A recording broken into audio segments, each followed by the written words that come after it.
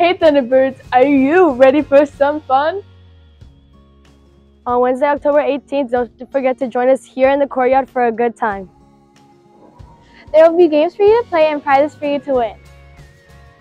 And don't forget this will also be our Camel Day for Character Counts Week, so don't forget to wear your best camel gear. We can't wait to see you guys having fun in the courtyard.